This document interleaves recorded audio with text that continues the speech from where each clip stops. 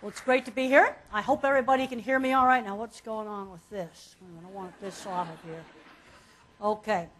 One time I was doing a presentation and the computer tried to update the virus software five times during my talk, and it would get going halfway across. And I said, Oh, no, you don't. You're not doing that now. And then 15 minutes later, do it again. Okay. I want to talk about some really basic things about animal behavior. Calm animals are easier to handle. This applies to every kind of animal. If an animal gets really upset, it's going to take half an hour for it to calm back down. Well, instead, people fight it. You know, let it calm down for half an hour. It's uh, especially important with big animals, but even with a dog. Just let it calm down, or a cat. Give it a chance to calm down.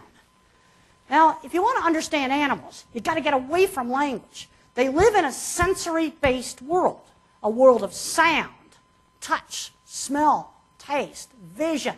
It's not in words. And people often ask me, well, how do you know that? Well, if you look at how the brain is built, there's no other way the animal's brain can store information since it doesn't have words. So I want you to shut your eyes and try to get away from language. What is it seeing? What is it smelling? You know, think about it. When the dog checks the local tree out and he's getting all the uh, P-mail messages there, um, there's a lot of information on the tree. Who's been there? Friend or foe? How long ago they were there? It's a trip down to the coffee shop. now, as a person with autism, I'll often get asked, well, how did animal, uh, how did autism help me with animals? Because I'm a total visual thinker. The movie did a great job of showing how I think in pictures. You know, everything I think about, there's a picture.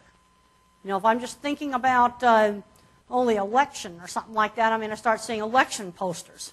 Because if I don't have pictures, I don't have any thought. It's totally in pictures. Understand animals, you've got to get into sensory details. You need to get away from verbal language. It's a world of sensory detail. Now, there's evidence in people when they get a certain type of Alzheimer's called temporal lobe dementia that as language is wrecked, art talent comes out. See, in the normal human mind, things like music and art, that's underneath language. In fact, uh, animals communicate a lot with tone of voice. You know, if you went up to your dog and you went, good dog, good dog, don't think he's going to react very well to that. you know, they react very much to the tone of voice. You know, you want to watch the body postures. Look at how the zebra and the horse have an ear on each other, and the other ear is on me taking the picture. Watch what the ears are looking at. What's your animal looking at? What kind of postures does it have? I mean, if a dog is putting its butt up in the air and that's a play ball, he wants to play. If the whole butt's wiggling, he's really happy. If just the tail's wiggling and he's stiff, uh, that's not so good. In horses and cattle, tail swishing is a sign of anxiety. That's the warning before you get kicked or bucked off. Where in dogs, it means they're happy. Now look at how that animal's looking right at that bright blob of sunlight. Some of the very first work I ever did with livestock was to get down in the chutes, see what the cattle were seeing. And they're afraid of a lot of little things we tend to not notice. I always get asked, do they know they're going to get slaughtered? I had to answer that question early in my career. I still get asked that question. A bunch of people wrote on the Google search thing to my website, uh, do animals know they're going to die? That actually came back on the printout from my website. Well, I needed to answer that question 35 years ago. So I went out to the Swift plant and I watched the cattle go up the chute. Then I watched cattle going up the chute at the feedlot for veterinary work. They behaved the same way in both places. If they knew they were going to die, they should be jumping out of the chute at the Swift plant, and they weren't. Only had a five foot six inch fence. The cattle were very capable of jumping out, but they didn't. They're more worried about reflections. There's a chain hanging down. It's too dark. You get rid of these things that scare them, then they walk right up there. The normal human mind ignores the details, like chains hanging down in the chute. Why, after 35 years, do I still have to show this slide? Because people don't take them out. Now, my book's on animal handling. I've got a whole checklist. I got a checklist in Animals in Translation. All the things you got to look for, because people need those checklists. They don't tend to see things. I get down in the chutes and see what they're seeing. You see, on a real sunny day, you're going to have shadows in there, Cloudy day, you're not going to have shadows. So you get time of day effects. Animals tend to go towards the light. So at night, I can use a light to attract a horse into the horse trailer. Now, in the daytime, they're not going to go into the blinding sun. You don't like driving down the highway in the blinding sun. Well, they don't want to walk towards that either. You can see people outside the fence. So I might need to cover it up the solid side unless the cattle are completely tame. Now, how does an animal form a concept? Or how does a person with autism form a concept when I got all these very specific pictures floating around in my mind?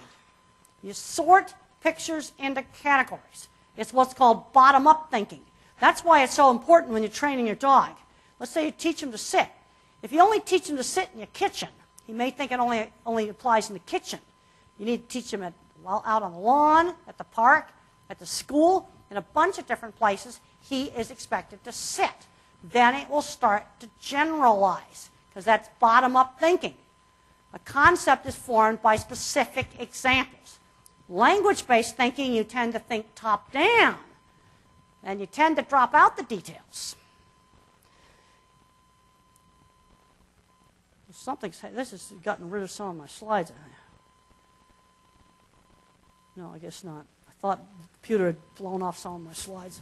Uh, the thing is, is that cattle perceive a man on foot and a man on a horse as two totally different things. You see, it's a different picture. You can have cattle that have a flight zone of two feet, and they're tame when you ride a horse. And when you get on foot, if they're not used to that, they might have a 100 foot flight zone. You get the same thing with a horse. See a man on the back and a man on the ground, that's two different things. So you can have a horse that maybe got abused by the horseshoer. He's going to be really horrible for anything you do on the ground, but maybe fine for riding. Or you can have just the opposite. You see, it's like different file folders. See, when you think in sensory, it, it's uh, very specific. On the back, on the ground, two totally different things. A dog can have two different categories. When I'm on the leash, I protect my owner, and when I'm off the leash, I can go play two different categories. Um, I know a guy who uh, hauls cattle, and he spends a lot of time on the road sleeping in his sleeper, and he has a dog that really guards that sleeper. One time, a thief tried to rob the sleeper. When he was there, the dog just bit them all up. And so when he, he goes in the shop, you know, the mechanics don't want to get chewed up. You know what the mechanics do? They call the dog out of the cab, and then the dog's all friendly. When he's in the cab, I protect. When I'm outside the cab, I don't protect. He doesn't have quite enough association to realize, well, maybe after he's called out of the cab, the truck could be stolen. but that's how the mechanics learn how to deal with the dog when the driver wasn't around. They just say, come on, get out of the cab. And he does. Now, here's a horse that was afraid of black cowboy hats because he was abused by somebody wearing a black hat. A white hat was okay, but a black hat was bad. Now, when I put the hat on the ground, it was less scary. But then as the hat got closer and closer and closer to my head, it got more and more scary. You see, you're getting a match for the picture. It's a picture. Now, there's no way I can get rid of all the black hats in the world. You know, we're going to have to try to work on getting the horse over this. I saw kind of a horrendous video the other day on a cell phone where a barrel racing horse had cracked up in the barrel. And it was the second time this had happened. Because the first time it happened, it tripped going around the barrel.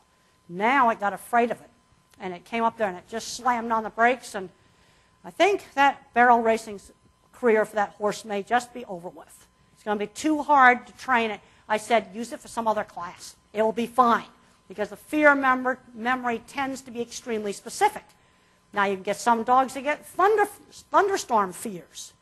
Well, try to reward confident behavior. You know, if he's cowering in a corner, don't run up to him. But if he wags his tail a little bit or something, then go up and pet him and stroke him because that rewards the confident behavior.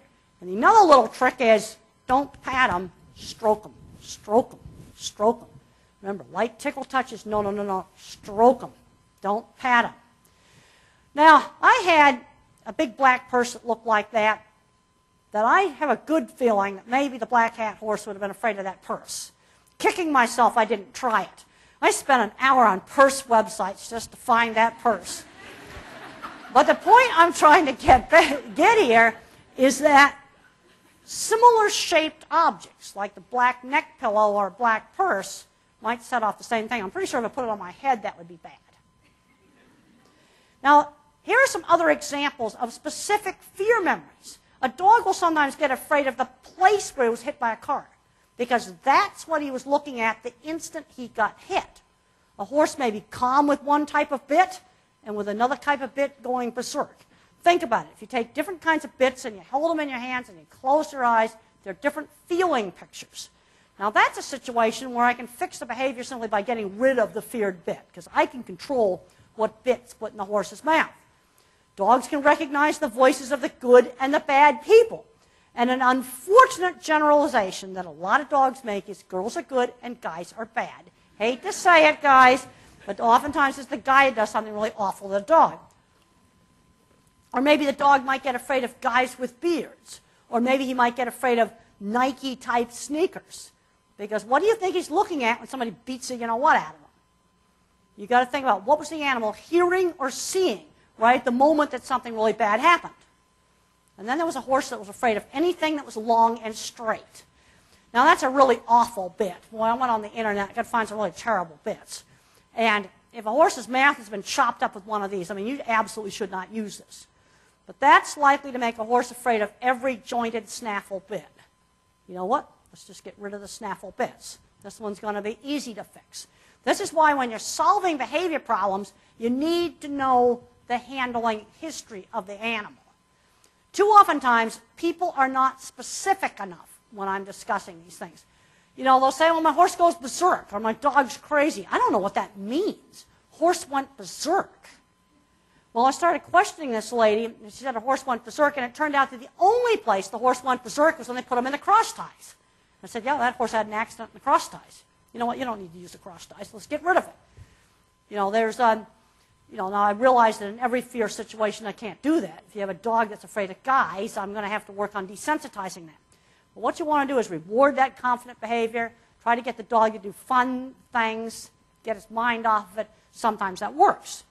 Okay, two different kinds of bits here. They feel completely different. Know, a horse got afraid of things that were long and straight. Okay, canes, microphone stands, shovel handles, these are all things that are long and straight. And what had happened to this horse is he'd flipped over another cross tie accident. Don't leave him alone in the cross ties. And the horse fell over backwards, and this big fat lead rope went right down his stomach like this.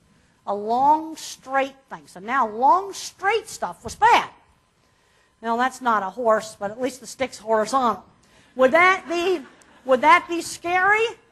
It might, not be. Might turn it horizontal, might be all right. Another horse was scared to death of naked white saddle pads. If you put a saddle on top or any kind of tack on top, then it was fine. Think about it. It's a different picture. This horse had probably been roughly sacked out with naked white saddle pads. They certainly wouldn't have tack on top. They were flipping it all over the horse. Well, I can probably get this out of the horse's life pretty easily. Now, first experiences with new things should be good. Because if first experiences with new people or new places are bad, it makes a very bad impression. Let's make sure that when we first introduce the horse trailer, nothing bad happens. Let's make sure that first veterinary trips are nice. The problem with fear memories is you can train the brain to close a fear memory, but you can't totally erase it. And the more high strung and nervous the genetics is, the harder it is to get the animal over the fear memory. And really flighty animals need to be habituated much more gradually to new things. New things have to be introduced in smaller steps. A real common thing people say to me is my dog or my horse was fine at home and it just went totally scared crazy at a show. There's a lot of new things at a show it hasn't seen before, like flags, bikes, and balloons. And the best way to train that animal to tolerate those things is let it voluntarily approach. Don't jam it in its face. This is just to show you some stress. When you force an animal in a handling situation versus an animal voluntarily cooperating with handling. The dairy cow has a much lower level of stress because it voluntarily cooperates with handling. One of the principles right now in low stress cattle handling is to train animals to go through the handling facilities, making sure those first experiences are good. Sometimes we have to do things that are painful, but we don't want them to think the corrals are bad. You know, so you want to have good first experiences. And then you've got deer that got netted. And I've had wildlife biologists say to me, well, that can't be very stressful. We only held it down for 30 seconds. And I said, well, if you got mugged when you went out of here and somebody knocks you over and steals your wallet in the parking garage, I can guarantee you're going to be really, really super stressed over that. Even though it might have only taken 15 or 30 seconds for them to grab your purse and knock you down. You see, that's fear stress. Then down there below, we trained antelope to cooperate with their blood sampling. This is the animal that, that everyone said was untrainable because they were so flighty. It took 10 days to train this animal to tolerate sliding door going up and down. The first day, we moved it an inch. So went and it orients. Well, that was the training for that day because you don't want to push past that orienting. But we trained them. We've trained pronghorn, nyala, and bongo. Supposed to be untrainable. Now people are doing this. I just read in, the, um, in one of the magazines I was reading on the plane that an okapi now has had a calf. Uh, you know, you just have to do it very gradually. Don't scare it. It was a very nice okapi. I stroked it when I visited at the zoo. It was nice and soft and silky, and, and uh, they wanted to reward him with these bok choy stuff. Well, you got to feed him a treat, not, not celery. I, handed, I held out the bok choy, and he goes, I don't want to eat this. And, and, and uh, they were so worried about messing up his diet. I said, well, just a teaspoon of grain isn't going to hurt him. It can be a very, very small amount, like a half a sugar cube or something. But a treat's got to be a treat. Well, we got these antelopes trained where they'd go in this box and we could do blood sampling and we could do injections. But their thinking's very specific because in the pronghorns, the students got them so well trained, they could walk up onto them in the pen and you could stick an IV right in them here. Still walk right up, no restraint, stick an IV in them, in the vein. Well, then the student got cocky. And one of the animals got a little sick and she tried to do an antibiotic shot in the shoulder. It went completely berserk. See, think about it. In the shoulder, different feeling, different specific sensory picture compared to here. It was trained for here. It wasn't trained for here. You see that pronghorn. No, they were hyper, hyper, hyper specific.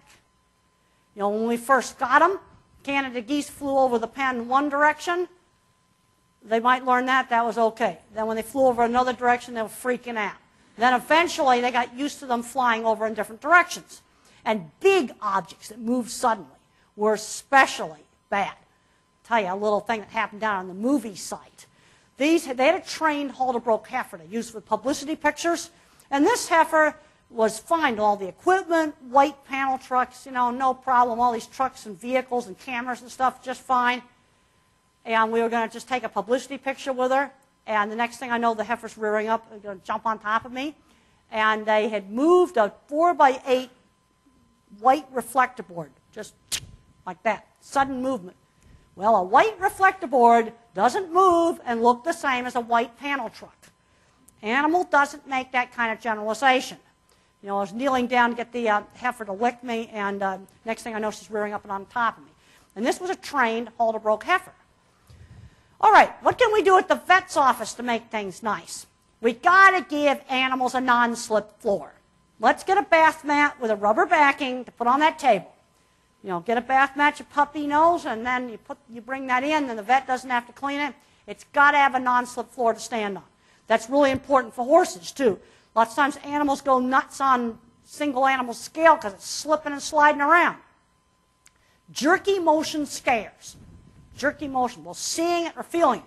You grab a cat like that, it's not going to react very well. There's also an optimal pressure. You've got to make it feel held, but not so tight that it hurts. And the mistake that people make is squish it tighter when it struggles. You've also got to support the body. Don't trigger the fear of falling. If it starts to feel off balance, it's going to panic. The fear of falling is a primal fear. I'm amazed at the things I've been able to fix with a non-slip floor. It is just amazing. That works for all species of animals, all the little ones, all the big ones, and everything in between. Do animals have emotions?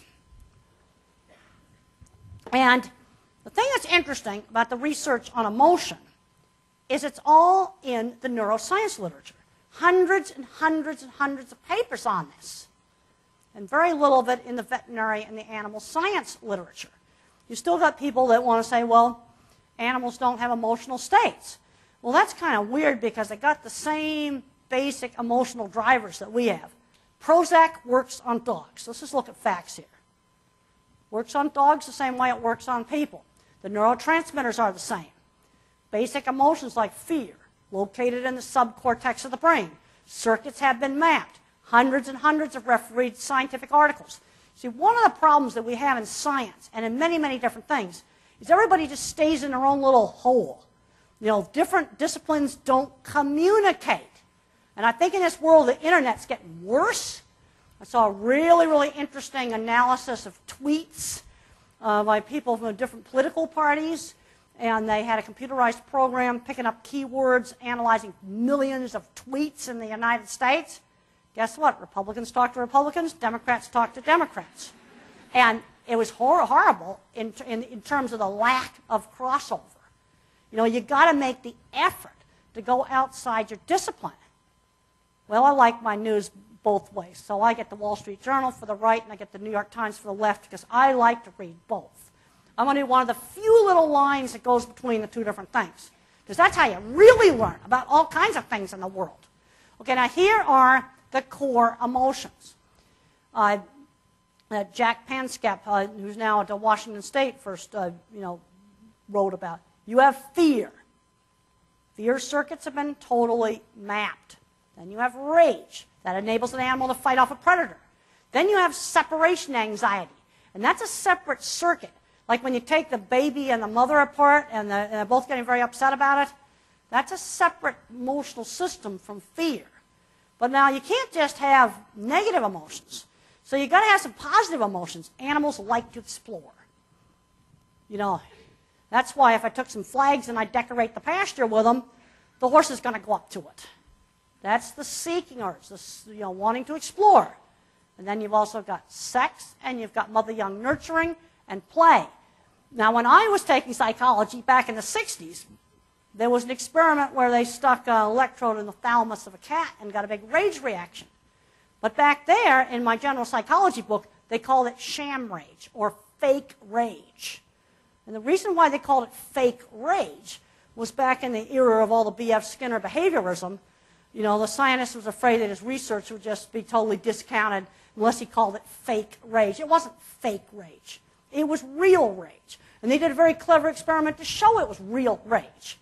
Okay, so stimulate the thalamus, and I give the cat a stuffed rat, it will attack a stuffed rat. It will not attack a styrofoam square block the same size as a rat. That shows me that maybe it's not fake rage. Now, researchers have actually found a switch in the brain. They can switch back and forth between fear and seeking. Okay, so we go back to that dog that's scared of that thunderstorm. Let's get the seeking system turned on. You can either be in seek mode or fear mode. Now, if you have an animal that's genetically flighty, the switch is weighted more towards fear. If you have an animal that's been horribly abused, this, the biochemical switch gets weighted more towards fear. But it's either one or the other. I had a situation where a board flew off a, a, a trailer when I was driving on the highway, and um, I locked onto that board like a fighter jet radar, and I moved the car over to avoid it. I wasn't scared at all. But the instant I had successfully avoided getting killed by this board, the switch flipped, heart pounding, swear words coming out. I'm not going to repeat any of the swear words. And look at how those animals are approaching that clipboard. And then when the wind blows the paper, they run away. That paper stops blowing, they come back. And back when we did this back in 1998, I'm going, it's like a switch. Well, the thing that's interesting is the switch has been found. Okay, why were scientists studying this? Drug addiction research. Yeah, you put a drug addict in the brain scanner and show them pictures of the casino, the dopamine circuits are going off like crazy. Okay, see how that animal's orienting? When it orients, it makes a decision. Do I keep watching? Do I run off? Do I graze? One ear on the camera, the other ear is checking the forest out. When we were training those antelopes, we had to be very careful not to push past this orienting phase, or you would have them splatting against the wall. When you're troubleshooting a behavior problem, you've got to figure out which emotional system is driving the behavior. There's some different species differences. In primates, if I hug a person around here, people in primates, that's lovey-dovey and nice. But in dogs, when you put your hand up across here, that's dominance. Most domestic dogs tolerate it. But if you go on the internet and you type in kids hugging dogs, right across this part here, that mouth's going to be clamped shut. Now, if you look at the two books out there on the book table in Animals in Translation, there's a picture of a nice, relaxed, open mouth. That's a very relaxed, calm dog. The other book has got the dog with the mouth closed. Now, the dog's not like really scared, but the mouth is closed. It's just not totally relaxed. And most of those internet pictures, the mouth is closed because it's hooked up to kind of the nurturing in primates, but in dogs it's hooked up to another system. You know, this different emotional driver there. You got to figure out what's driving it. Should the owner be present at the vets? It depends.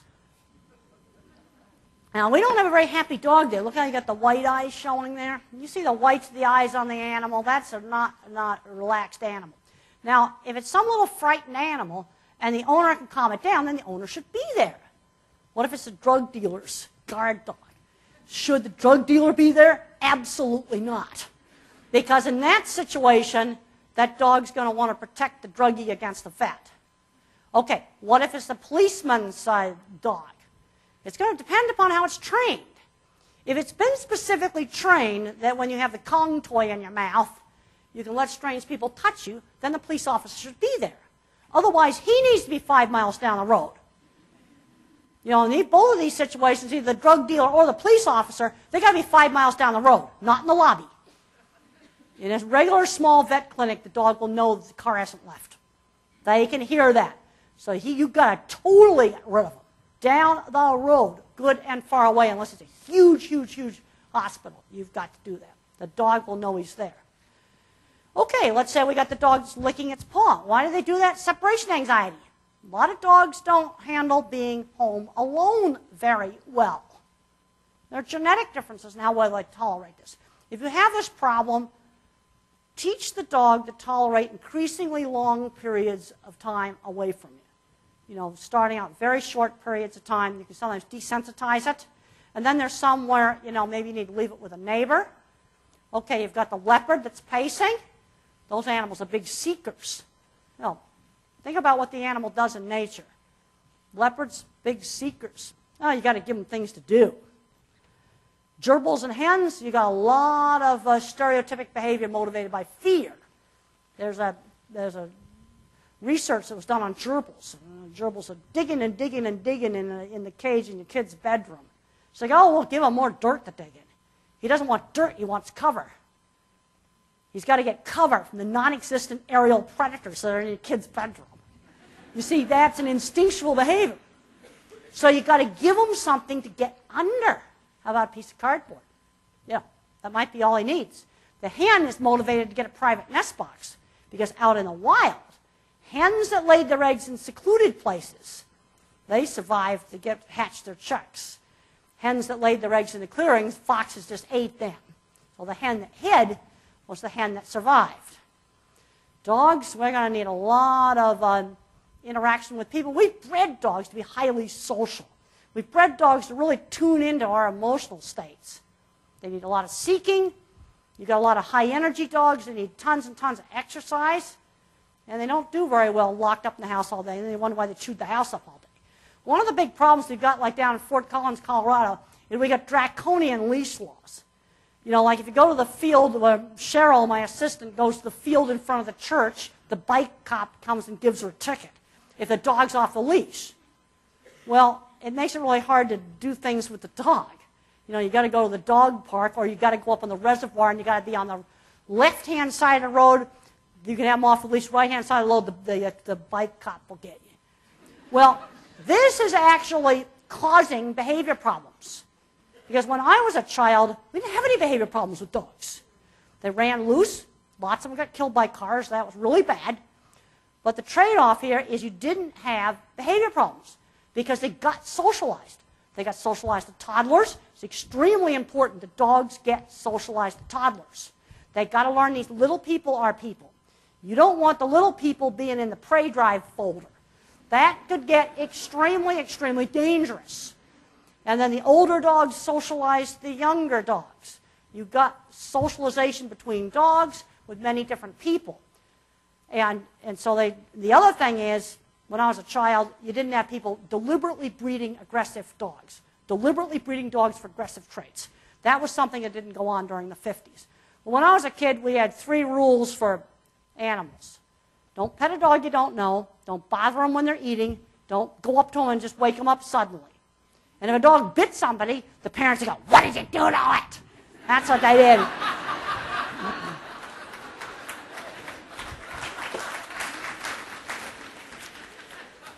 Now, that golden retriever right there is a really good example of a really nice, relaxed, open mouth. Patricia McConnell's got a wonderful book on animal emotions. It's got great pictures showing all the different postures so you can read your dog better. You see that nice, soft, open mouth like that? It's not panting. That's very relaxed. Horses, we got to habituate them to new things carefully, and we got to prevent fear memories. As a species, they're more flighty and fearful than, than a dog. And there's a lot of variation. Much, much variation. I hate rough training methods. And you do rough training methods to an Arab, you're probably going to ruin the Arab because it's going to just stay scared. You know, people that tend to favor rough training methods tend to use the calmer types of horses. They need grazing.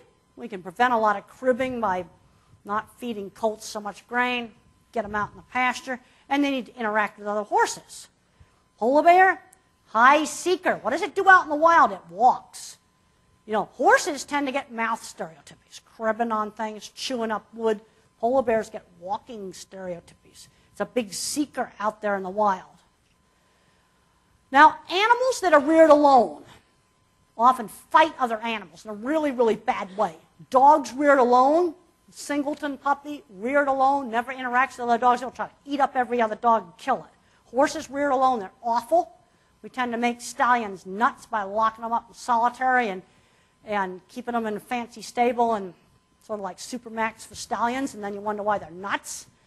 Uh, the best way to have animals that don't have behavior problems is to rear them in social groups. Right there, this guy, the dairy bull, he's the number one cause of fatalities with livestock.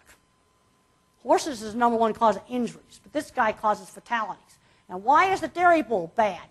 Because he's reared alone. If you rear him alone, then when he gets to be 18 months to two, he thinks he's a person. And then he, the hormones kick in, and he views you as rivals for mates. The best way to make him safe is to rear him with a lot of other cattle. It's a mistaken identity issue. It's not tameness. It's mistaken identity. You rear him with a bunch of other cattle, he's not going to care about attacking people.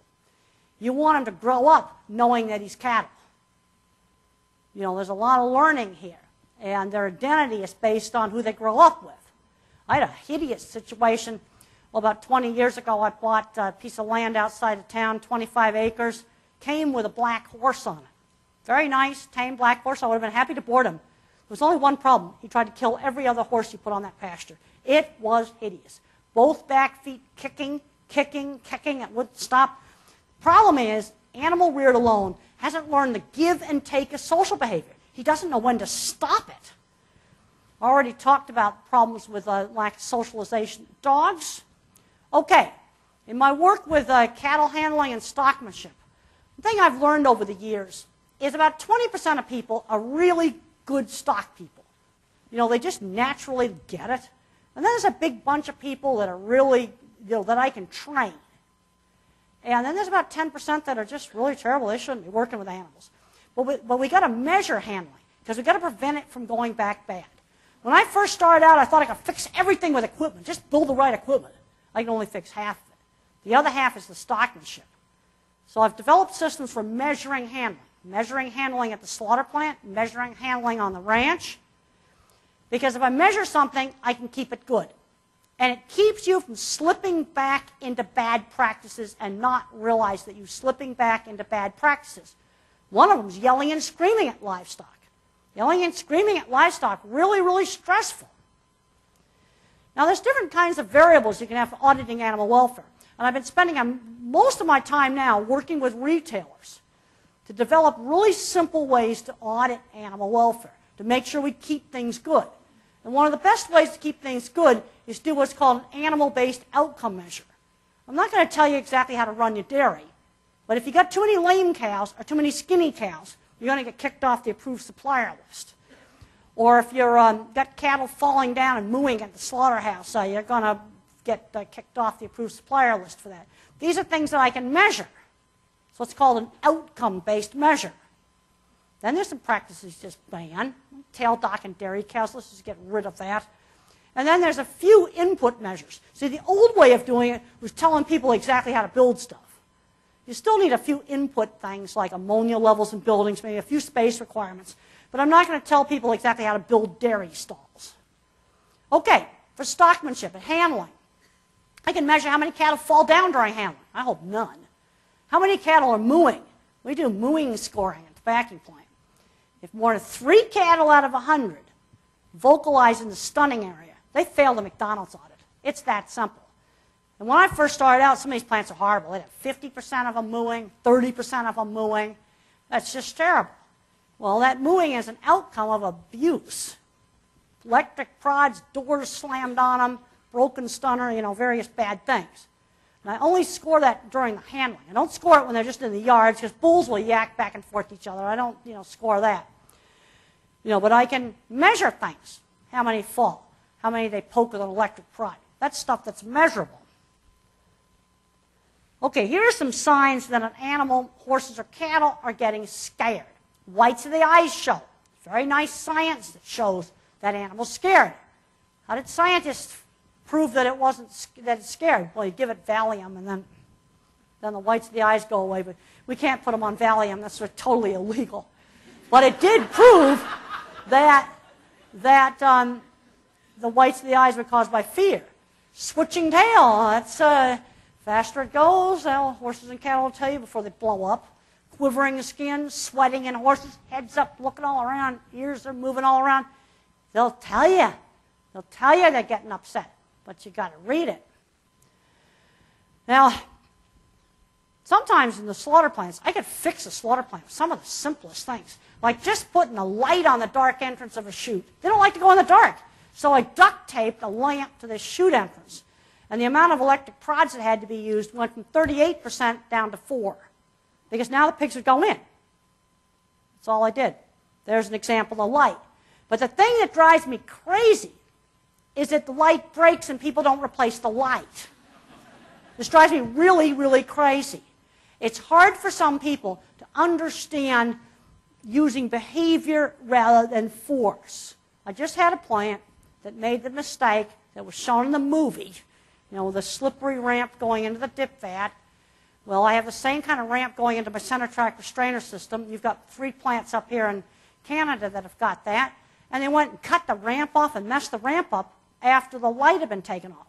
They need to watch that segment in the movie. Why are they making that same mistake 35 years later? It makes me nuts. And I'm really beginning to realize they're not seeing it. I read all that stuff about the Japanese nuclear power plants burning up. And then I read something that to me was like so obvious as a visual thinker. It was so obvious I would have never have done this. Why would, if you live by the sea, why do you put your crucial emergency generators that run the very important emergency cooling pump in the basement?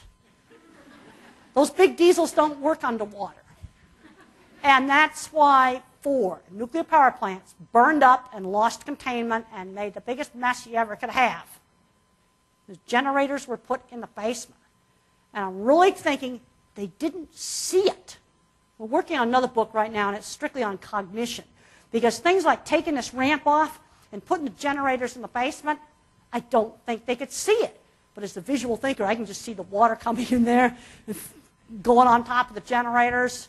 Oh, and then the seawall after it got breached that would have held the water right there on the plant site. I mean, just a gigantic mess. I mean, they didn't have a chance. Okay, Another problem area is animals that are hard to handle. Getting the slaughter plant's pretty good, but I'm seeing problems where pushing animals too hard. We got you know genetically breeding pigs to grow faster and faster and faster and faster, and they got leg problems, or they got arthritis, or they jack them up on too much uh, beta agonist feed additives, and they get weak and lame. We've had some problems with cattle with that. What I call biological system overload, where we just push the biology to the point where I'm getting an animal I can't handle. And then I got to have an animal that's trained to people on foot. And this is pretty dangerous with cattle to get cattle that aren't trained to people on foot in a meat plant. You want dangerous auction or a packing plant, it's really dangerous. Pigs differentiate between a man in the alley and a man in the pens. You got to walk your pens. Get them used to people being in there so they don't freak out and go berserk at the plant and are impossible to handle. In making up guidelines, you've got to get rid of these words like proper, adequate, or sufficient. What do you mean by sufficient space? I was just looking at a guideline today and it talked about sufficient feeder space for dairy cows. I said, why not just write it that there has to be enough space that they can all eat at the same time? You see, that's something I can see that. It's got to be clear. Okay, principal thing that I like to do is have something where you measure, there's, there's certain things that are really, really important. Like, how could I have good animal welfare to dairy if I had 30% lame dairy cows? That's something that's a critical control point. And no matter how good everything else in the dairy was, the welfare of that dairy is not acceptable, that many lame dairy cows. That's super, super critical. Body condition score sores and lesions all over. Now, the principle is you got to pick out the things that are really important. And I put the emphasis on things I can directly observe. It's not a paperwork audit. I'm sure the nuclear power plant had all their paperwork in order. Yeah, they had a backup, and they had a backup and another backup, but they were all in the basement, so they were useless. Just that simple. Now, that all the paperwork. Okay, here are basic things that would be critical control points for animal welfare on a dairy farm. Body condition score. How many skinny cows, lame cows, filthy, dirty cows, swollen legs. Organic. You better make sure they're not full of lice or, or uh, ringworm or something nasty like that. So I'm going to check the coats, ammonia levels in the building, abnormal behavior. You know, I've worked all my life on handling. And I'm really pleased. There's a lot of other people now out doing, you know, low stress handling. And just to get the handling fixed, now we're getting some of these other problems. Animals that are too weak to handle. Got to give me something I can handle. Now, lameness is a good critical control point. Just look at all the different things that can make them lame. I need to add something to this slide. Beta agonists, ractopamine and zilpaterol. They can also make livestock lame. I need to add them to this list. Not dairy cows. Not dairy cows. That's not given to dairy cows, only to pigs and, and feedlot cattle. Well, I'm going to bash on pets now. I've bashed on farm animals, let's bash on pets. I think this bulldog's a deformed, freakazoid monstrosity. That's what it is. Now, if you go on, go on a computer and you type in into the picture thing on Google, Bulldog's Dilemma, you can find a picture of a 1938 version of a bulldog. It actually's got some legs. It actually has a muzzle. And it's actually a functional dog. Rather than be this freak that can't breathe, can't walk, and can't have its babies naturally. Well, what people did is they just kept following the verbal breed standard. And this happens slowly. Now, as younger people come in, they think it's normal for the breed to have all this stuff. If these wrinkles get any worse, he's going to suffocate on his own wrinkles. I look at this and I don't think it's cute. I think it's hideous. Okay, and in animals, uh, in, in, in uh, farm animals, I get concerned about, you know, pushing the biology too hard. Well, we're pushing the biology too hard on a bulldog, too. You know, here it's for stupid appearance trait. In farm animals, it's for productivity. I think in farm animals, we've got to start looking at what's optimal. A dairy cow that lasts for only two years of milking, that's not optimal. It takes you two years to grow the heifer and then you push her so hard that you throw her away after two years of milking. I don't know how they do their counting. I, I really, they must do weird tax stuff because I just don't see how that can pay. Okay, here are some of the things that may cause by pushing you know, a farm animal too hard. They can get lame, they can get skinny, they can get weak. Uh, you take these blue-eyed dogs and breed them together. Yeah, they're really pretty until you get the deaf puppies. Uh, the lean-line pigs, when they came in in the late 80s, all of a sudden they got porcine respiratory and reproductive syndrome. And uh, there's now been research that shows they're more susceptible to the virus. And now you've got hog farmers putting HEPA filters in the windows of the sow barns. These are the kind of filters you use for the bubble boy, the immunocompromised bubble boy. And you put them in swine building? I don't think that's the right approach to the problem. Maybe we better breed a little hardiness back in, just a little bit, back off a tiny bit on the production. Not a good trade-off there. Is that very good food security? I don't think so. You don't have HEPA filters in an operating room in the hospital. And what happened to those pig's ears? Well, another pig had them for dinner. This is something that started happening in the late 80s as the lean line pigs came in. Now, fortunately, some parts of the industry now are backing off on this. There's actually getting to be some better genetics. Just as they fixed that, well, then we got ractopamine thrown in there to mess things up. Just as we started fixing the genetics. We also got rid of the horrible PSS pigs, which was a very bad genetic stress pro uh, problem. And when these, these pigs, when we bred pigs to be lean, well, accidentally they got bred to be mean. And they like to fight a lot.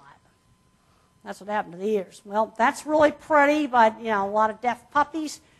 You overselect for single trait, you are going to wreck your animal. It's just that simple. I don't care if it's a production trait or an appearance trait. I think we got to look a lot more at optimal things.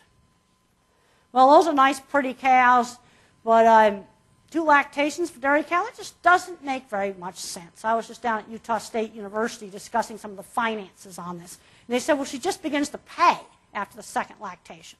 See, I think this gets into a mindset that a dairy just does milk. They also produce a lot of beef, too.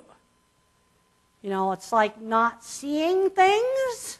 You gotta think about things that we're not seeing. Sometimes the most obvious is the least obvious.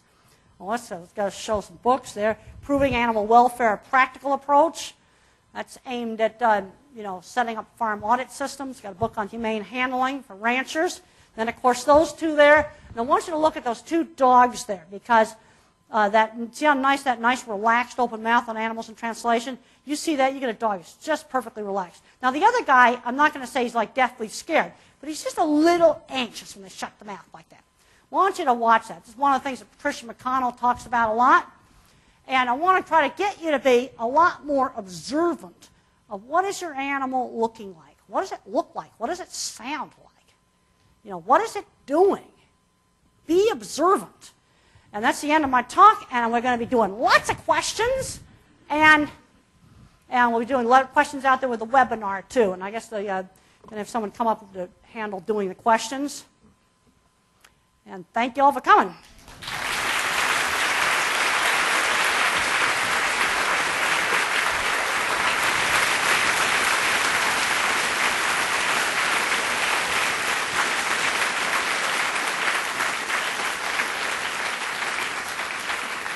I think, I think we, I guess I can take some questions off the floor. I'll repeat them so that um, people on the webinar can hear them. Okay, right there. Make it fairly short because i got to repeat it. Can animals be autistic? There are situations where you can get um, autistic-like behavior in animals. And in animals, it comes from putting them in a sensory-deprived environment. You know, like a barren zoo cage. And then the panther's uh, walking around or the dog's uh, home alone chewing up his paw. In, in an animal, it's usually caused by lack, a very lack of stimulating environment.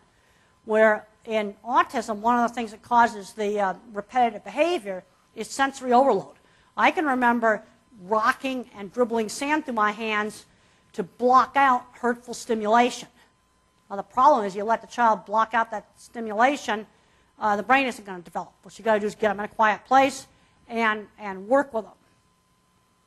But I think there's some similarities. Do animals see in colors? Animals are partially colorblind. You take your animals like horses, cattle, dogs, cats, they're all dichromats. They don't see red. See, in normal trichromatic human vision, you've got three color sensors, and animals just have two. Now, now there's some animals that there's some exceptions that I'll tell you in just a minute, but the, uh, they see yellow very, very well. Yellow, blue, bluish purple really well. Green, don't see, they'll see red as black or gray. And what dichromatic vision does is it gives you better night vision and more sensitivity to harsh contrast of light and dark. Birds have full color vision and can see ultraviolet. Most of the primates have full color vision so they can determine, you know, ripening of fruit. They used to think that animals like dogs and cattle were black and white colorblind. That's not true.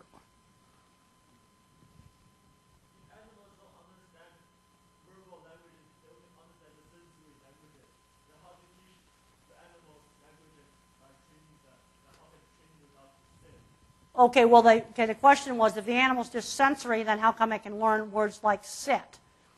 Well, it's just learning it by the, the sound of the word. A certain sound means sit. Uh, they can learn they can learn some the meaning of some words, but they still are basically a sensory-based thinker. Like if you ask me to think about uh, uh, what I had for dinner last night, I see it. I don't think about that in words. For example, if I ask you, think about a, a, a church steeple, most people get a kind of a vague generalized picture. I just see specific ones. Um, there's different degrees of visual thinking versus language-based thinking. I've run into a few people that think completely in language. And these are people that can see. They have nothing wrong with their eyes. They can drive cars. But, but if they, they, they think completely in language, you see, you know, I find that people that tend to be more sensory thinkers tend to get along with animals better because they can relate to that. Highly verbal thinkers, now, I know there will be exceptions to this, have a hard time understanding how you could even have thought without, um, without language.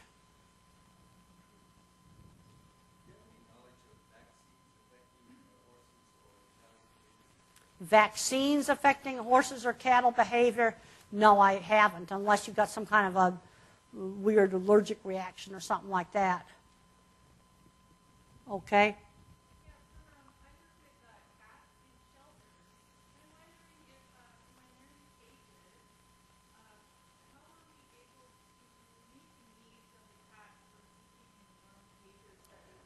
Okay, the question concerned cats in shelters and in cages. First of all, most shelters are way too noisy. You know, people are asking me all the time, what would we do to um, improve the design of shelters? Well, noise abatement. That's going to be the first thing I'm going to do. But unfortunately, materials that reduce sound are hard to clean. One simple thing to do is either hang fabric or styrofoam up in the ceiling. Now you've got to make sure it's fireproof, but the, uh, that will absorb a lot of sound, and it's up there out of the way. Even cardboard hung up there would work, but it wouldn't be fireproof. Uh, a lot of cats get overstimulated. Now, there's quite a few shelters now that have these group housing things for cats. That works well for a lot of them, but you get one little scared kitty that's down the bottom hiding underneath. Uh, that might not be a very happy kitty, one that just kind of cowers down there. Others, it works fine. Dogs need to get taken out every day and played with. I had a student named Crista Coppola, and uh, she was over at a local animal shelter, and every other dog that came in, she tested, got a salivary cortisol sample of them, totally non-invasive. Half the dogs got a training and, a, and play period for 45 minutes the a day after they came in. The controls just got stuck in a cage. And we took salivary cortisols. The next day, after that play session, the salivary cortisol was significantly lower. But unfortunately, it went right back up again because the play periods weren't continued. So what does that paper tell you? It was in the Journal of Physiology and Behavior.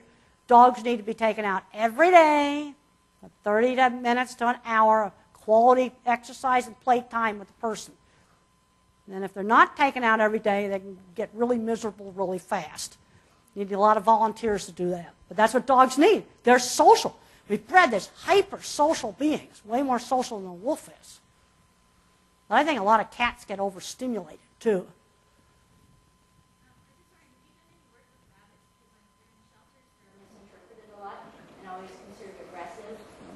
If the rabbits are considered aggressive, they're fearful. And I think, an, see, a rabbit's a prey species animal. It's a prey species animal, with, uh, and all your prey species animals have the eyes on the side of the head. So they can always be looking for danger. And a rabbit's going to be extremely high fear. It's going to be biting out of fear. See, this is what you have to figure out what's motivating it. It's not aggression, it's going to be fear in a rabbit. I haven't really done much much work with rabbits, but uh, they're, they're a very high fear animal. Because, see, as a species, any animal that's a prey species animal tends to be higher fear. And a rabbit's completely defenseless. And it only survives by running away and hiding and watching out for danger. It is frustrating in the shelters they get deemed as aggressive, but it is their fear. It's fear. They're just afraid. People need to be calmer about it. And, and uh, you know, maybe cover up the cage with a towel, you know. Try to calm things down. There's so much noise and everything in a shelter. And maybe on sensory overload. See, this is a problem that autistic kids have. You know, the noise in a supermarket would be like uh, getting put in a barrel and pounded on or being inside the speaker at a rock concert. So it may be overstimulated and scared. So it's just lashing out. Wait a minute, I'm going to take somebody else. You've already had a question. Up there? okay. Okay, the question was, is it cruel to keep a cat indoors all its life? Um, a cat that's lived in, indoors all its life doesn't know how much funsies it is to go outside, and they probably adapt okay. Cat that's been an outdoor cat probably isn't going to like it very much. You see, it gets back to what their experiences are. If you have to be at work every day and leave it home alone, a cat handles it a lot better than a dog does. Dogs have a lot more needs. And there's a lot of variations in, in, in cats. If it's grown up as an indoor cat, it's going to be afraid to go outside.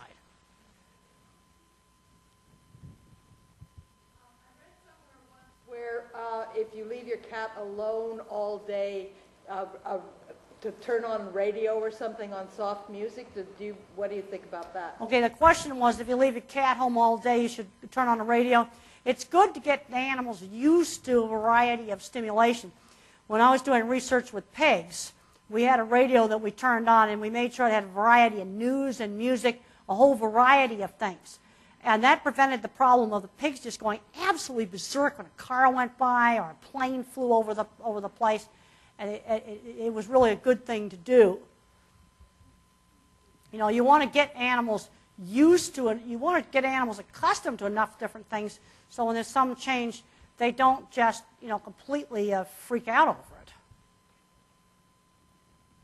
A lot of training with horses emphasizes that the uh, person be the alpha.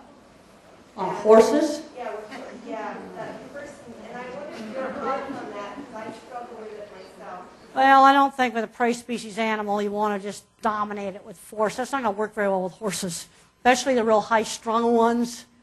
I'm, I'm a big fan of using much more gentle methods of working with horses in Animals Make Us Human. Talk about clicker training. See, the advantage you have with clicker training is for teaching an animal something complicated. You don't need to teach, use it for dog for sitting. I think it's kind of silly.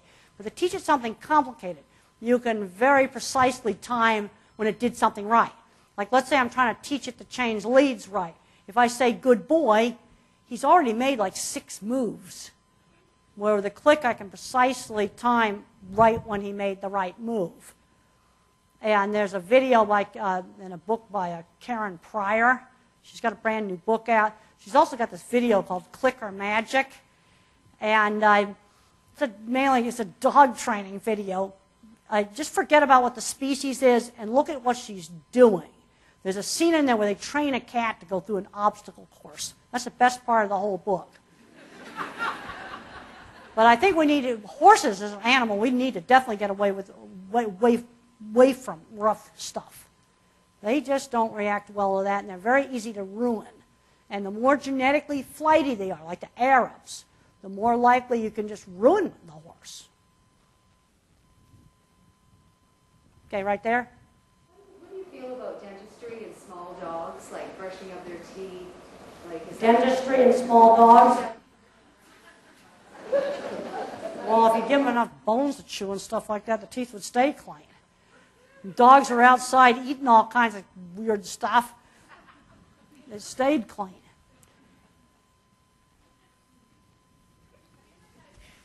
evaluate or assess uh, animals in research, such as at universities animals and research. Have I ever done anything with that? Yes, I have. And I've been into, into pharmaceutical labs. I've been in a number of different labs. Okay, they might have beagles in there that they're using. And having those dogs socialized, there's a big difference between different suppliers on how nervous and excitable these beagles are. The ones where they've been socialized. On you know, labs that are really progressive, they let the dogs out let them play in the hall, and people play with them. Uh, dogs need that. That's really an important thing. Yeah, I actually have, I've actually been out in some labs. And, there's a, and, and the labs are doing a lot of good things. And they're just not telling anybody. They're so worried about getting attacked that they, you know, and a lot of the people that work in labs really care about what they're doing. I have a student, a master student, that went to work in a lab, and she's in charge of, you know, their environmental enrichment. And, and there's a lot of lab people that really care about what they're doing. They, and like the farm stuff, I think they need to be telling what they're doing. I'm really proud of the fact I worked on cleaning up the slaughterhouses, but nobody seems to know about it. And I'm not going to call them harvest plants because that's stupid. Harvesting you do the grain. There's slaughter plants. And, and, and I found that when I went out to Hollywood, all the Hollywood press wanted to talk about was, uh, well, what are feed yards and how do slaughter plants work? I mean, they were just curious about stuff. Okay, right there. Temple, uh, have you ever worked with, um, say, with autistic children that are, have a fear of dogs and desensitized? Okay, let's talk about problems with autistic kids and fear of dogs. What I have found with animals and with kids with autism, there's like three kinds. Instant loving them, best buds with the dog, loves the dog, really understands the dog. Then the second kind, a little bit afraid of the dog in the beginning, and then warm up to the dog and they really like it. Then there's a third kind, they absolutely hate dogs. And the reason why, it's, it's sensory sensitivity. They're afraid it's going to bark and hurt their ears. And you never know when it might bark, or, or the cat might meow, or they might not like the smell. It usually is sensory, which, which for then some children have this problem, they're never going to feel at ease around the dog. It's just like, okay, if the smoke alarm's gone off, every time he sees a smoke alarm in a room, he's all getting upset because he's scared it might go off because it blasted his ears out. He's afraid the dog's going to blast his ears out. You see, and then getting into the whole thing about whether or not a service dog is appropriate. I ask people, well, try out the next door neighbor's Labrador. Find out if he likes dogs. You know, it, it's appropriate for one and maybe not for another one. Okay, how about, um, okay, right here?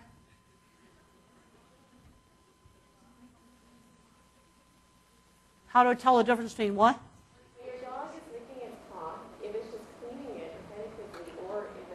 Okay, the dog is just licking his paw, but he has separation anxiety. Well, if he's got separation anxiety really bad, he's going to lick a hole in his paw. You're going to end up having a, a wound there. And you'll know because it's going to be all messed up. And, and of course, you want to do something about it long before it gets to that point.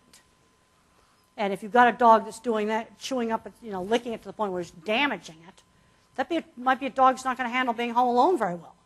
You know, you can leave it at the next door neighbors. Maybe sometimes another dog helps.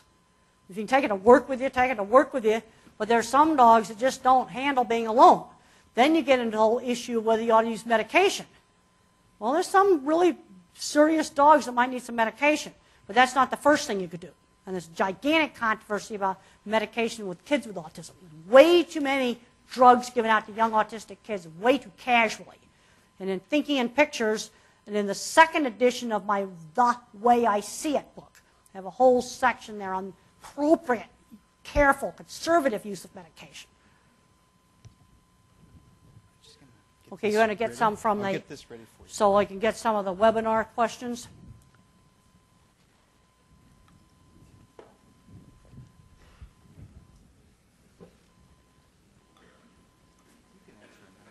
Oh, okay, we'll do another one while they're getting that ready. Right here?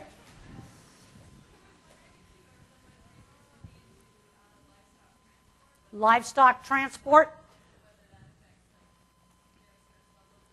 Well, one of the biggest problems with livestock transport is putting animals on trailers that aren't fit to transport.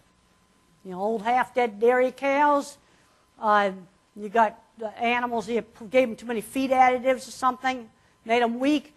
You got beef cattle you weaned on a truck and you didn't pre-vaccinate them, and you wonder why they got sick.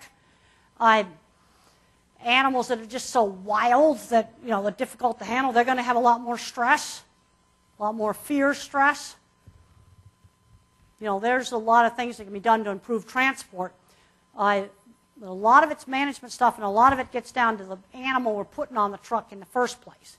Day old bobby calves haul them a real long distance. They're not fit to transport. They can't walk without assistance. Take one from here. Okay, that. Um, well, okay, the subject was welfare at abattoirs. You want to just click on that? No, you don't have to. Right. Okay. What are the critical control points to audit a slaughterhouse? Okay, there's five of them. And to pass the McDonald's audit, a plant has to get a passing score on all five of those critical control points. Okay, if it's beef, you have to shoot 95% on the first shot make them dead with a single shot. And then the other 5% instantly get another shot before they're hoisted or cut. 100% insensible. You're only allowed three cattle out of 100 mooing and bellowing in the stunning area. 1% fall. That's scored in the, all, everywhere in the whole entire plant. And you've got to get 75% or more moved with, with no electric prod. Those are the critical control points. And if you're doing electrical stunning of pigs and shape, it has to be placed correctly on 99% of the animals. The entire guideline, you can go on grandin.com and go in my animal welfare um, uh, audit section. Okay, yep, I'll do another one. Um, do you support Cesar Millan's methods for training dogs? Good. In looking at a lot of different training things, different kinds of methods work well with you know different temperaments of animals. And Cesar Millan's changed a lot. You know, when he first started, he did a lot of real rough stuff. And, and I thought he was absolutely horrible with the fear-based behaviors. He didn't know what to do with the fear-based behaviors. He didn't know what to do with separation anxiety type of things. But there's a certain kind of really aggressive, really assertive, you know, definitely not fearful dog, some of these Rottweilers and whatnot, that he actually was really good with. You know, the thing is, one size doesn't fit all. Then you've got other trainers where everything's positive. Everything is positive. Well, real severe aggressive behavior like cat killing, I've looked through a lot of those books at the bookstore and I look up aggression and things like prey drive. Uh, they don't, they ignore those issues.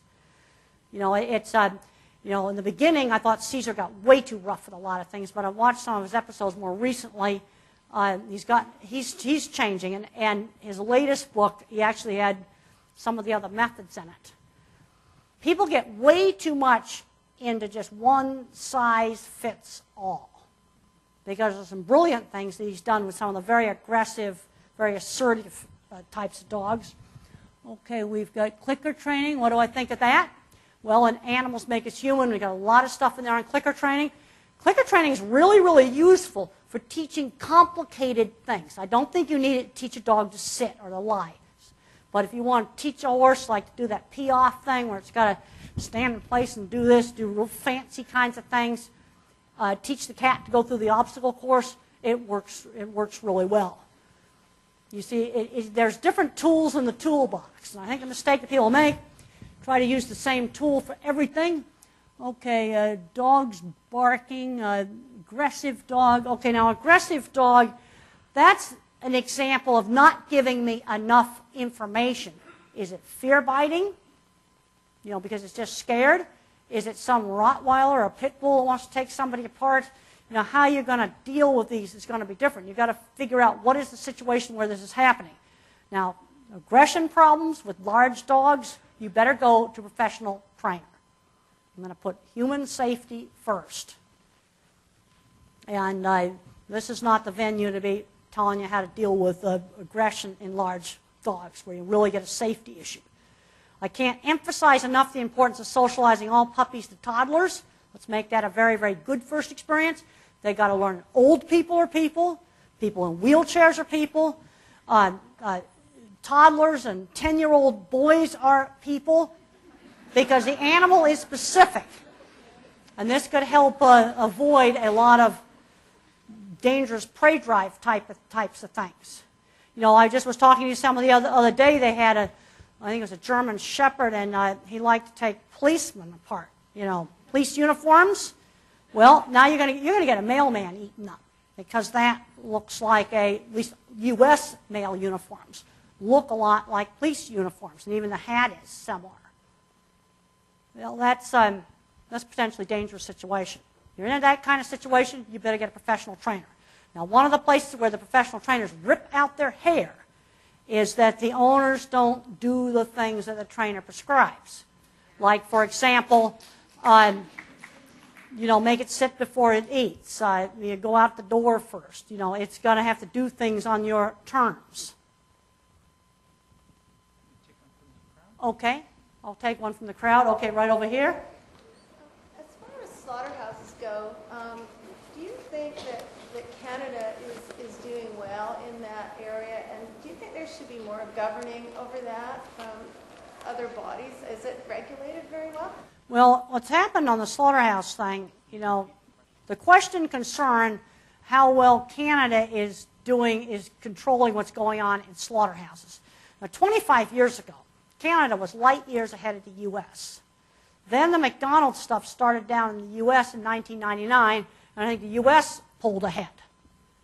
Uh, you know, and now there's then the government, you know, reacts to that. We had that big scandal down there at that Westland Hallmark plant, forklift knocking over dairy cows, and the USDA called that a policy-changing event, and the USDA is getting much more strict now.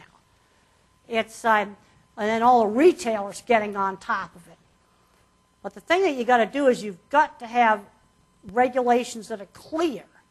You know, we're, we're, getting, we're getting a lot better on that. We still have things that talk about minimize agitation and excitement. I don't know how to train an inspector on that. Uh, you, you, know, so you've, you've got to get, solve the problem. Inconsistent inspection. We've had problems with this where one inspector was super strict and another inspector was uh, super lax. And we, the interesting thing that our GAO, the General Accounting Office in the U.S., found out uh, a year ago was the big plants were much more even and better controlled than the little plants. See, one of the problems you have in the little plants, you got an inspector that just lives there because you can't move them around because you can't keep making them sell his house. And so I've seen, seen things. I went in a plant two years ago so filthy I couldn't believe it. It's a little tiny thing. It, it's, uh, you know, things can be done really well. It gets down to management. I'm a big fan of video auditing. Cargill Corporation here in Canada has two plants on video auditing. JBS Swift has video auditing, where video cameras are over the stunning box, they're over the unloading ramp, over the chutes, and there's an auditor in another state tuning in at random and doing the scoring. Boy, that really fixed some things up. And I have been a very, very big proponent of that. Because if you just put video cameras in internally, the novelty wears off. That doesn't work. It's got to be looked at by someone outside. Now, when Cargill first put that in, you know, the back was turned, the electric prods are out again. Stunning didn't change. Stunning is so dependent on maintenance. That's like, that is really equipment dependent. You've got to maintain your gun. But the um, handling, now it's gotten a whole lot better. Now they have the plants doing contests to see who can get the best handling score, but you still got to keep the line full. And because every plant gets all the scores from all the other plants, so they can see how they're doing, and then the, then, the, then that each month the champion plant gets a pizza party, or they get hats or coats or something like that, and that's turning. It's just the employees that work the cattle. That's turning it into something positive. Okay, right up there with the paper. Okay. Um, should we protect our animals, like our pets, from our um, if you're upset or angry? Should we keep them protected from that? Well, the question was, should you protect your pets, like if you're really angry or really upset? Well, sometimes in those situations, the pet can really comfort you. I mean, the pet kind of tune in on your feelings. Uh, I'd be more concerned about anger around the pet than I would, you know, if you're sad. The Pet's going to help cheer you up. Uh, animals are, you know, they'll pick up on your emotions. They'll definitely do that. I mean, a little bit of uh, dog seeing just sad, I think, is probably not going to hurt the dog any. Okay, let's take something off the computer here. What will it take to influence meat producers who are focused primarily on production to be more concerned about breeding healthy animals? Well, unfortunately, with high grain prices, that gives you economic incentives to do things you shouldn't do. These ethanol plants, we're putting half the uh, grain into ethanol in the U.S. That's like crazy. Uh, and and uh, this is an example of lobbyists uh, buying an election. It's like really disgusting. Uh, and, it, and then, you, then that motivates a feed yard to do stuff like feeding too much beta agonists or doing something else they shouldn't be doing. You see, economics can work to improve animal welfare, or it can work to make animal welfare wor worse. The situation where it can improve animal welfare is when you have big customers insisting on standards because the plant doesn't want to get booted off the approved supplier list. That can improve welfare. But things like high grain prices can give the wrong incentives. You have things like somebody puts screaming ballin' calves on a truck. They got no vaccines. They got no preconditioning or, or, or pre-handling, uh, pre-weaning. And then they get sick two weeks later. Well, in order to get the farmer to, um, to pre-vaccinate, and pre-wean, he needs to get a premium price for that. If the guy that just takes his calves down the auction, dumps them at the auction, gets the same price as somebody that, uh, uh, that just does it badly, there's no economic incentive there to do things right. I did a study, and the first things I ever did, I looked at cattle sold live weight versus cattle sold in the carcass. When cattle were sold live weight, the slaughterhouse paid for all the bruises. When they were sold in the carcass, feedlots paid for bruises. Guess what? The um, carcass weight had half as many bruises. I know how to get rid of bruises. Make people pay for them. That makes gets rid of them real, real fast. Okay, right there. What's your favorite animal and why? Well, I have to say I think beef cattle is my favorite animal. You know, I, you know, people tend to like the animal that they've worked the most with, and that's the animal I've worked the most with. Uh, okay, Melissa is asking me here about training collars. I guess on dogs, like electric shock collars. Is probably what she's referring to. Well, for most things, I absolutely hate them. Uh, but there's one situation where you might have to use it, and that's prey drive. See, the problem is killing things is fun. Uh, that's the problem. Dogs like there are certain dogs that really like to kill things, and there are differences in the amount of prey drive. I mean, I, I talked to a rancher one time where a coyote just came in and killed like 25 lambs just for hacks. Didn't eat them, just killed them for funsies. It is horrible. So you got a really bad prey drive situation, like maybe cat killing, sheep killing. You got to get it stopped. I don't think there's any positive way to stop that. Now you've got to. This is the only place I don't want to use a shock collar. I'm going to use it once and I'm going to throw it out. Everything else we can train nice, pretty much. And you put the shock collar on. The dog wears it for several days because I never want the dog to figure out that the collar did it. And then you take him out to the sheep pasture, and just as he gets ready to bite it, zap. And he'll think the sheep gods did it. and, and I.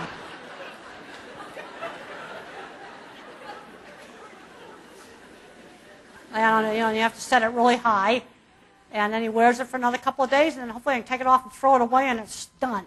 You know, but that's one of the few situations where single, very, very, very, very harsh correction may have to be done to stop that. Because the problem is, it's so much fun to kill things. And that's not nice, but, you know, if I want to teach a dog tricks, no, I want to do clicker training. If I want to teach a dog to do agility, that's all clicker training. I want to make all other training, you know, positive. But, I, you know, if, but if he's into killing things, I, I don't think you can stop that with clicker training. Okay. Should I take two more off the floor? Off the floor. Okay, right there. How do you feel about Monty Roberts method Monty Roberts. Um, you got to be careful with the Monty Roberts method. You can make a horse bored going round and round and round and round and round a, crowd, a, a round pen too much. Um, actually, some of the stuff I really liked for starting a horse out, Pat Parelli had some really nice tapes showing uh, his stuff for just first starting the horse. I thought was good. People are not going to get hurt doing it. The other thing I liked about it is that it was very clear. Now, of course, he's trying to sell his little special halter and his little special things. You know, people always have stuff to sell. But for starting the young colt, I thought it was good. It was very clear how to do it. And you're not going to get hurt doing it, and it would gentle the, the horse. Okay? Inbreeding companion animals. I am very concerned about inbreeding. We're making a mess out of some animals with inbreeding.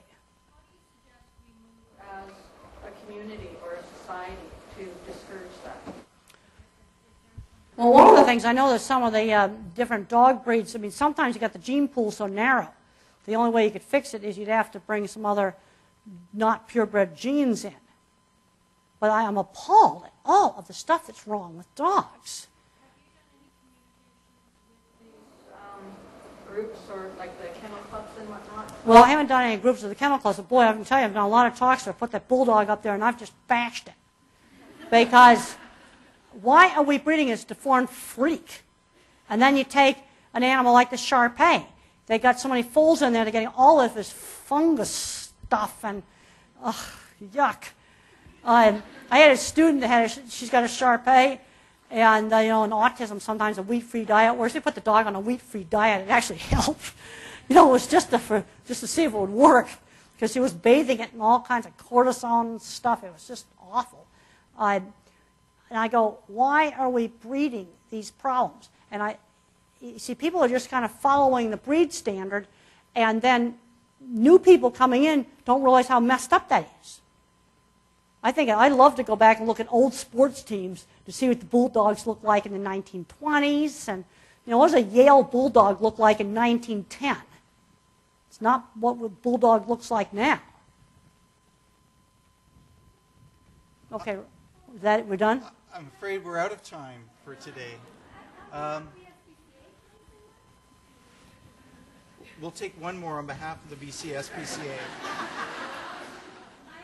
fostered many dogs and I've taken, um, had dogs that I've owned, uh, from the SPCA. And as you said, you can't erase the bad past, but you can eliminate. And also you were saying about the, the dog protecting the truck. Well, let's talk about the problem of you got a lot of abused rescues. Let's talk a little bit about abused rescues.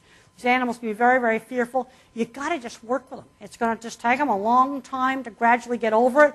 One of my, um, you know, colleagues at Colorado State had a rescue. They've had it for two years. She's now beginning to come up to people at parties, and and they gradually you have to work with them gently. You can get them to be less fearful. And then certain dogs have triggers. Like if you raise your hand like this, they get scared. So then if you can find that trigger and stop doing that. Well, the dogs I've had have come around and done just that. They're flopped over, their mouths are open, they're happy. But now, but when people, new people come to the house, we we have guests come over all the time. My kids have girlfriends and things, and then my dog just like, they're, they're, they don't, like, how do you? It's not generalizing. In other words, you've got to train now so he's relaxed around you, but new people are terrifying. You see, it, you see a lot of it, you, to, you don't know what the history is. And sometimes you can find out the history can help solve it, but it's hard to totally undo these things. You know, and the genetics is also a factor. A dog that is naturally really nervous and high strung is going to be more damaged by rough treatment than a dog that's calmer. Same thing with horses. You're going to wreck the Arab doing a lot of rough stuff more than some calmer, fat old quarter horse. Heavy boned, you know, heavy boned, thicker bodied animals tend to be uh, calmer. I found whether it's dogs or whether it's horses, that seems to be true. Well, I want to thank everybody for coming, and I will be out at the book table.